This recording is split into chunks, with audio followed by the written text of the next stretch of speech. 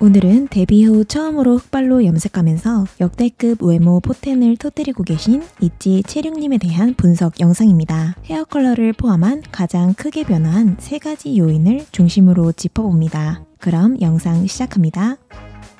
먼저 채룡님의 이목구비를 볼게요. 둥근 타원형 얼굴형입니다. 얼굴을 상하 반으로 나눠서 보면 이마 쪽이 좁은 편이며 위쪽에 비해 아래쪽 비율이 넓습니다.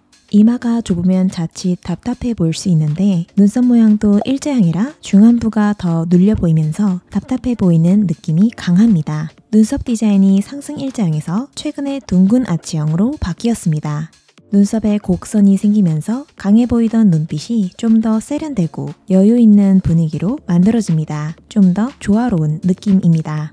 두 번째, 뿌리 볼륨입니다. 정수리 쪽에 전체적으로 강한 뿌리 볼륨을 넣었습니다. 같은 블랙 계열 헤어 컬러인데 왼쪽, 오른쪽의 얼굴형이 다르게 느껴집니다. 기존 채령님은 중안부가 긴 둥근 타원형 얼굴형이었는데 최근 살을 많이 빼고 뿌리 볼륨을 넣으면서 올바른 비율의 타원형 얼굴형으로 보이도록 보완해 주었습니다. 뿌리 볼륨이 없으면 두상이 드러나면서 원래의 얼굴형이 적나라하게 드러납니다. 여기서 뿌리 볼륨을 강하게 넣으면 얼굴이 세로로 길어 보이는 착시 효과를 줍니다. 그리고 좁은 이마 때문에 얼굴 아래쪽으로 가는 시선을 위로 끌어올려 줍니다. 긴 타원형의 V라인 턱선은 둥근 얼굴형에 비해 성숙하고 페미닌한 느낌을 줍니다.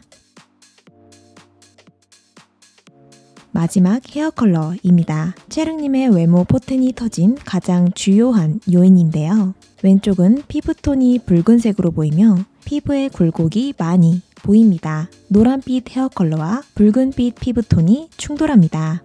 만약 노란빛이 적었다면 더 좋았을 것으로 보입니다. 오른쪽은 왼쪽에 비해 피부톤이 화사하고 이목구비가 더 살아납니다. 채령님의 undertone에 적합했던 컬러 중 하나가 블랙으로 보입니다.